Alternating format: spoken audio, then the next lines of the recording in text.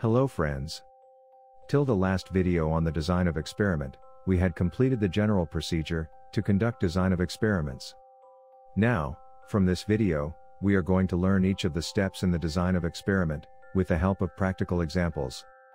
To start with, this video is about to create screening design, definitive as well as Plackett-Burman, with a practical example, for easy understanding and better clarity. So, let's begin. Create screening design, definitive and Plackett-Burman.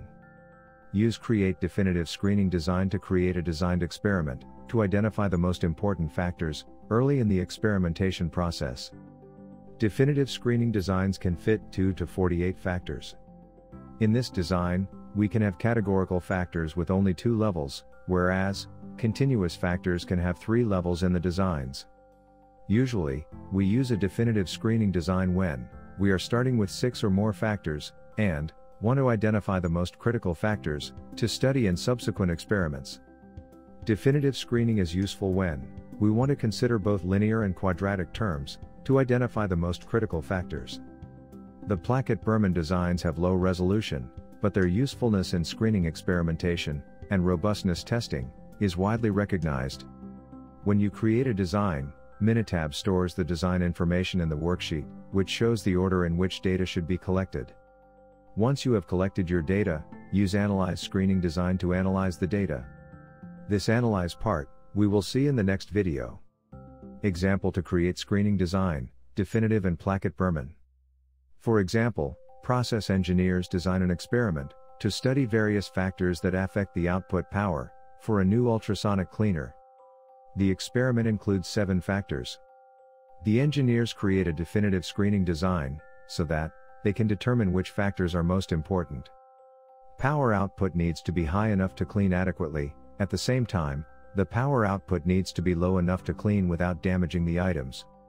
To create definitive screening design, please follow the steps in Minitab 18 and 19, as below. 1. Select Stat, Design of Experiments, Screening, Create Screening Design. 2. Under Type of Design, select Definitive Screening. 3. From a number of factors, select 7. 4. In Display Available Designs, there is 17 number of runs for 7 factors. 5. Click Designs, in the number of replicates, select 1 and click OK. 6. In Factors, add all 7 factors along with their types, like numeric or text, and their low and high levels used in the experiment.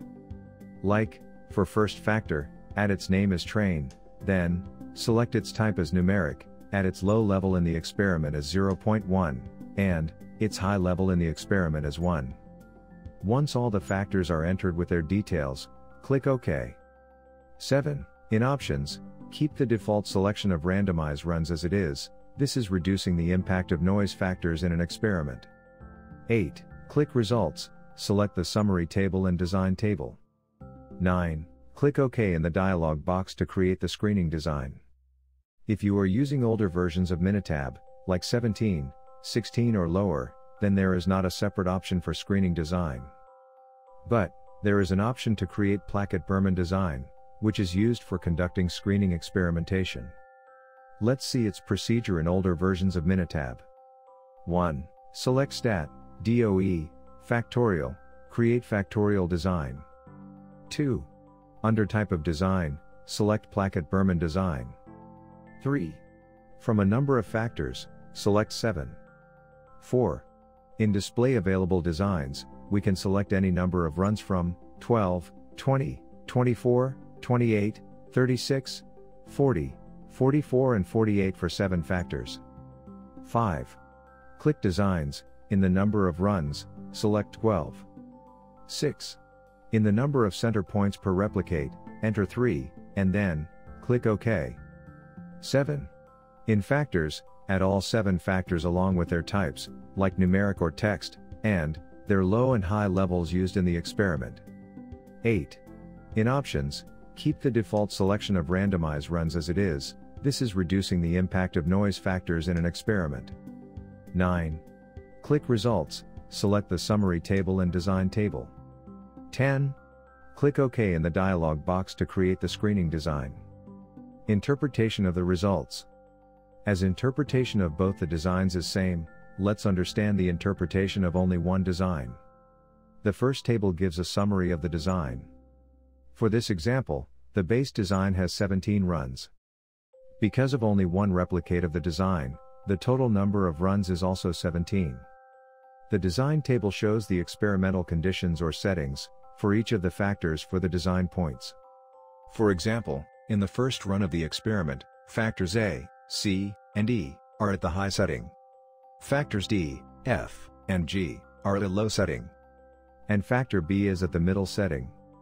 Please note that, Minitab randomizes the design by default, therefore, your run order in the output of this example will not match with the run order in the output, as shown here. This is all about, to create screening design, definitive as well as Plackett-Burman, with the help of a practical example. We will see the data collection and analyze this screening design, with a practical example in the next video. For references, I have taken some part of this detailed content from Minitab. Now to end, please like this video if you have found it useful, add your valuable comments, and share this video with your friend and colleagues, to improve and refresh their knowledge. If you want to get updates of such videos from our channel, please do not forget to subscribe to it, click on the bell icon, and select to get all notifications. And finally, thank you for watching.